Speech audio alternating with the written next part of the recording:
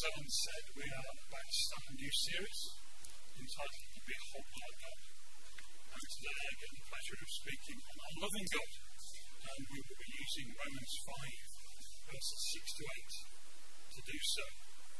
Uh, follow that Bibles if you wish from your phone. I'm going to read it and I will refer to it as we go. This is Romans 5, verses 6 to 8. You see, at just the right time, when we were still powerless, Christ died for the ungodly. Very rarely will anyone die for a righteous person, though for a good person, someone might possibly dare to die. But God demonstrates His own love for us in this. While we were still sinners, Christ died for us.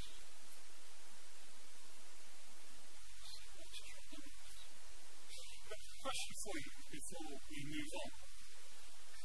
Can you keep a promise? Can, you keep a promise? You try. It's a tough one. Can we keep a promise? In our house, having grown up with two young girls in the house, the amount of times I've been asked, can we do this? And you go, mm, maybe. There you go, we promise. I don't like saying yes to a promise because I don't want them down. But promises are so important. The other day I saw on um, that type of thing, social media a uh, clip of people. Do you know these trust forms where you have people behind you and you just stand there and you've got to trust them? But if you fall backwards, they will catch you. And this guy's standing there and said, if you, you stand there, what we'll do is to count one, two, three, and you fall, and we promise we'll catch you. And looks really nervous. So it's three. And they go, all behind him now, hold their hands to catch him. One, two, three. And they brace themselves and falls forward. It's coming down his face.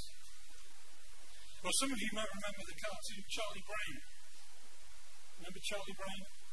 And his friend Lucy, who always said to him, Go on, I'll hold the, the ball, I'll hold the American football for you. You kick it. I promise I won't do it. And Charlie Brown would look at her, and every single time he thought that promise was real, run up the ball, and move it just the last minute before it fell. But promises are important, aren't they? We make them daily, whether we realise it or not, consciously and subconsciously. Some of us make really serious ones, like wedding vows. Others less serious. I promise you won't your colleague's cake that they've left in the fridge. We constantly. And sadly, many of us break them too. Whether we mean to or not. Whether we miss financial miss a meeting. But we promise to do something like the kids down. I wonder whether the word promise mean, means as much today as maybe it did in Bible times. Or is it becoming a case that they're just words? Thursday, apparently, something happened in this country. I don't know if you've all remembered. The country will go into various buildings around the country, stand in a little wooden stall and put their mark on a piece of paper. Voting for a party to lead our country for the coming years.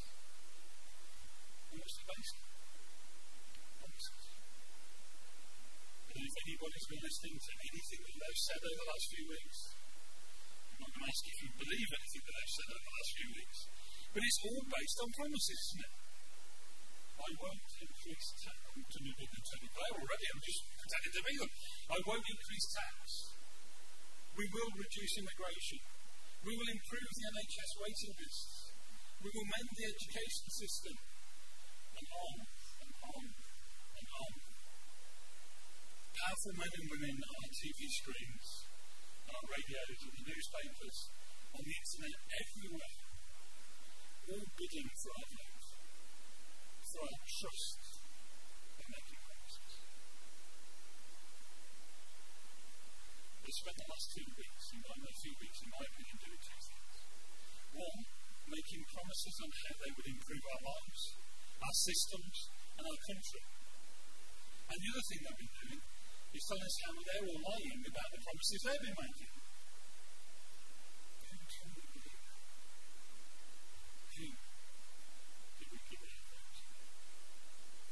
On Friday, our country will be led by a party. Will it be led by a party with the best policies, the best plans, the best politicians? Or will we look back and time to come and go? All of those promises that we most of them were broken. Anyway, that's the end of the political statement. It's just an introduction to what I want us to think about. I want us to think about promises. And really, the one person who made promises and then broken. Wherever we look, we make promises on a daily basis. Eat this and get thin. Download this dating app and meet your soulmate. Buy this car and be the envy of all your friends. Everyone will promise that things be better if you do what we tell you. Then we look at that communication Paul just. Paul communicated with the church in Rome, and he's reminding them of the promise that Jesus made. And we need to remember that that promise and all of Jesus' promises mean just as much now 2,000 years ago as they did. I'm not sure I would stand by the promises made by our leaders today. I expect too much to change in the coming years, to be honest, whoever becomes the new government. But I'm happy to stand by the promises made by Jesus. I'm happy to stand here in front of you, be recorded, be put on internet, and say that I trust in what Paul was saying. See through face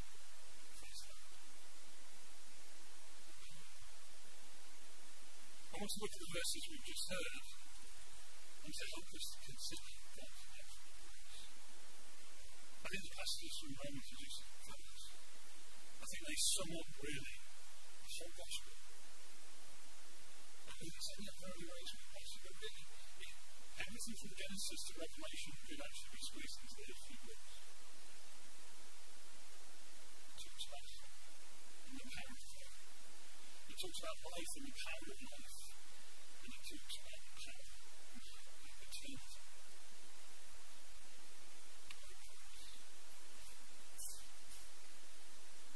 the whole thing is fascinating. Let's read it just one more time. You see it about just at the right time when they were still powerless. Christ died for the ungodly. Very rarely will anyone die for an unrighteous person. But for a good person, someone might possibly dare to die. Demonstrates his own love for us in this while we were still sinners. Christ died for us. Not by works. But it's saying, but God demonstrates this love. That while we were still sinners, Christ died for us. What would you do for those you love? Would you die for your friends, for your family? But he said, I'm sure I've made promises to my kids in case I have them now. But would you make that statement that Jesus made? I'm going to go to the cross, untamed, and die for the cause, for those who've been, for those to come. Because he knew we were sinners. He knew our sin separated us from God.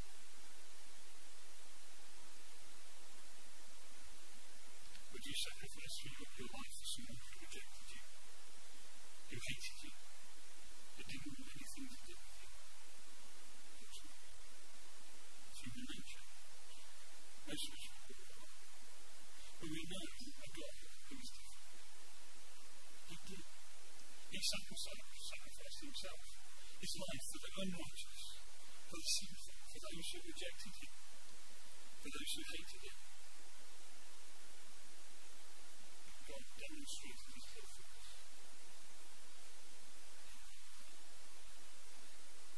I think sometimes in this world that the word love has become something very overused. I don't mean between husbands and wives and families, I mean just all the other things. Then you go back a few generations, we can talk about, well, love this, I love that, I love that. You might say you enjoy something, you might say, well, I don't. But everything is good. I love the sky blues. We'll pray for it. I love Chinese food. I love fishing. Everything is, it's, it's gone from zero to 100%.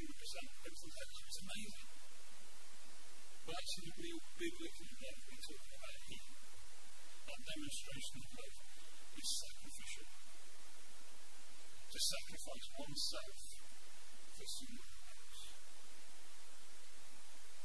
That kind of thing needs to be demonstrated. It needs to be acted out. And then the past I've heard people make promises to me, oh, I'll definitely do that, it won't happen again, or anything else in my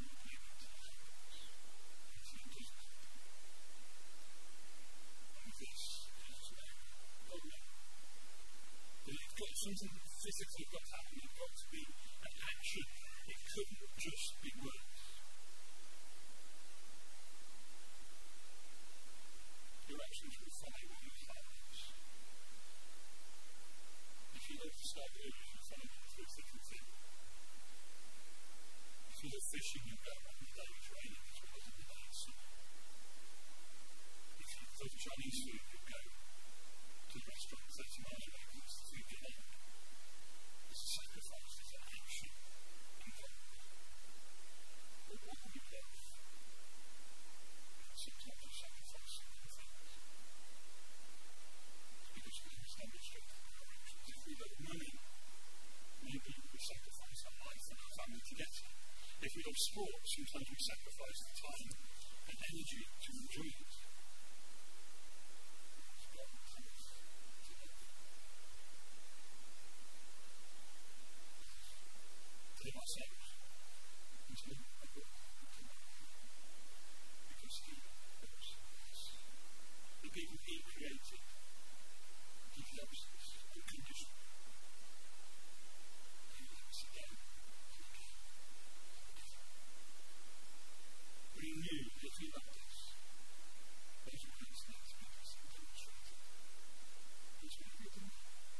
proved his love for us. He displayed it to the world.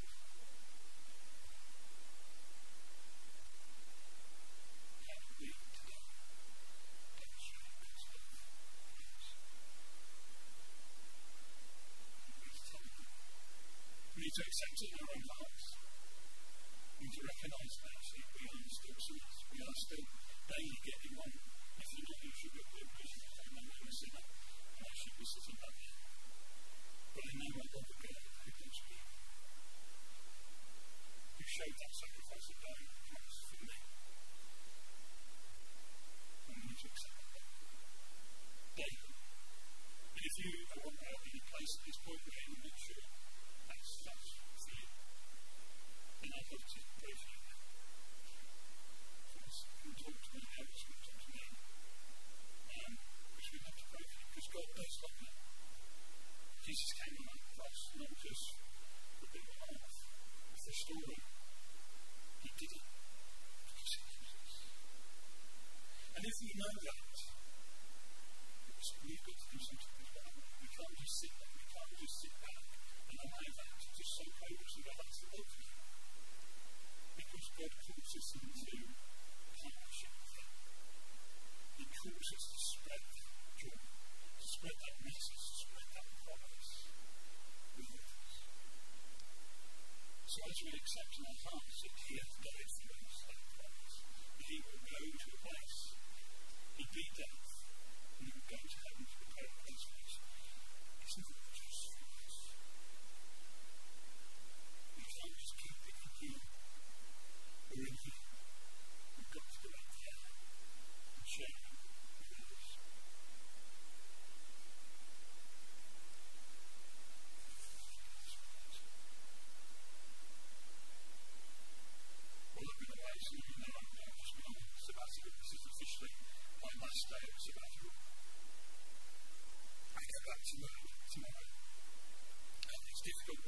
somebody you're also married to. means you can't completely disappear. So, Andy and my wife had this thing about it. We won't talk about what happens at work for the next six weeks. Well, So we've been sharing what's been happening like, from a distance. And we have a, a thing called Bible Chat, which is a weekly Bible study. Um, during Bible Chat a few weeks ago, and um, we talked Trinity and talking about baptism. And something came along and said, well, a very interesting thing happened today. She said, about four or five people who want baptized.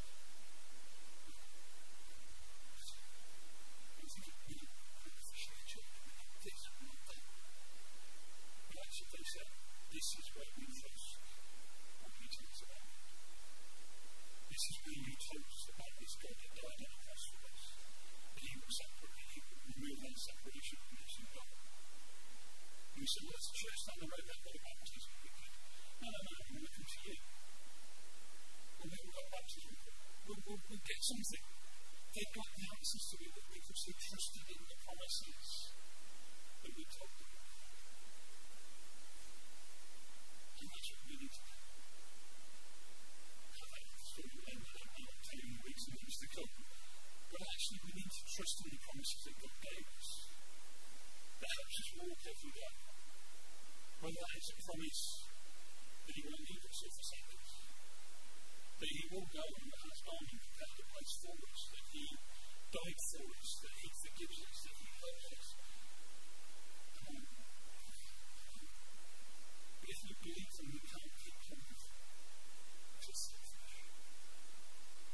If we truly believe, we need to go and share them with others. We know Jesus is the perfect life. He's God's Son. Sinned. He lived according to God's perfect design. He fulfilled God's law perfectly. And he knew he was coming to perfect.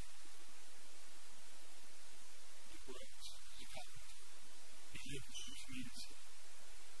And for his ministry started, he started to tell people who knew about God and demonstrated those healings and miracles and opportunities to share with people. He made promise to promise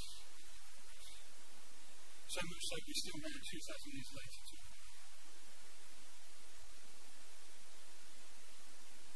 a demonstration. As mentioned in the passage from Romans 1. For the key thing in his life. There's something that changed. And Saul became Paul because his heart was changed by promise from God. And I hope for many of us that our was changed by that promise. Jesus that He died for us, that He will take away that sin from any of us who believe in Him and give our lives to Him.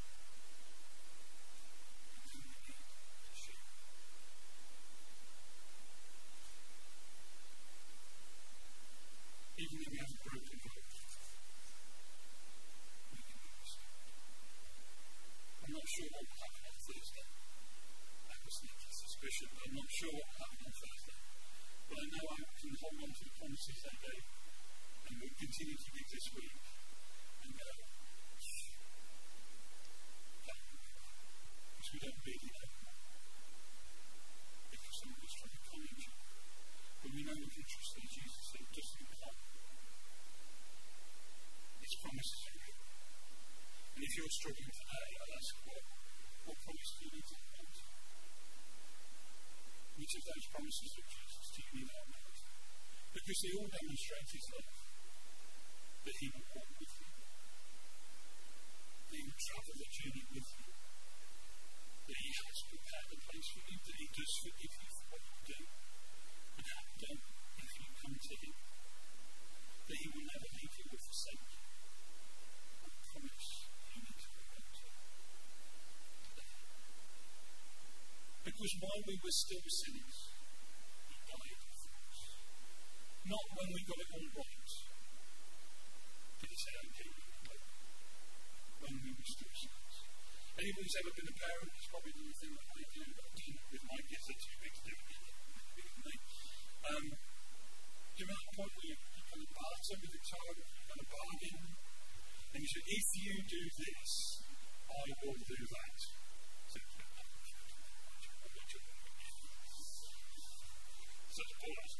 Um, do you know what I mean? That bit where you go, if you pick up all your toys and put them away, then you can have ice cream. Yeah, we've all done something like that before we were a parent.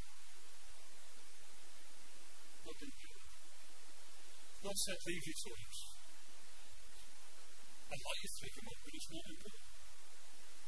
Come and get a.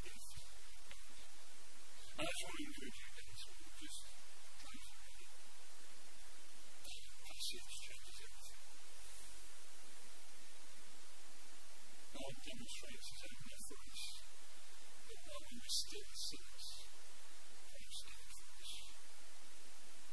It doesn't matter if you think you're 1% away from being perfect, and then you already got your feet in heaven, you know, your chair's out, you know, or whether you're right at the bottom, thinking I'm less than 1%, God will never accept me.